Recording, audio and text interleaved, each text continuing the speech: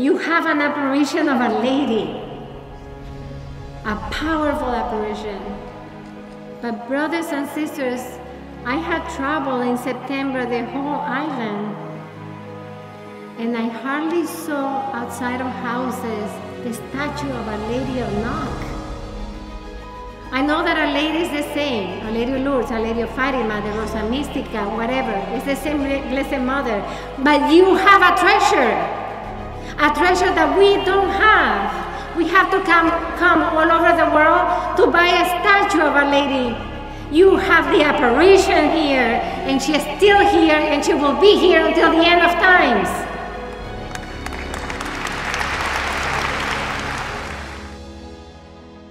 Pray the rosary and allow Our Lady to teach you the gospel and to teach you Jesus through her.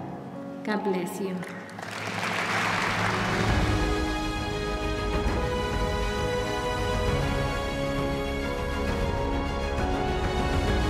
What can you do for marriages, for families? Could you take out your rosary beads and following the wonderful example of Father Peyton, pray.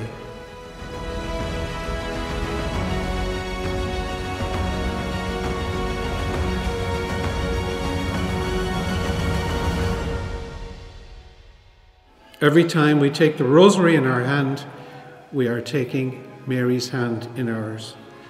And she, she is the Queen of broken hearts.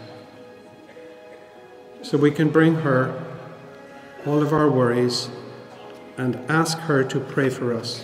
And we tell her our joys too.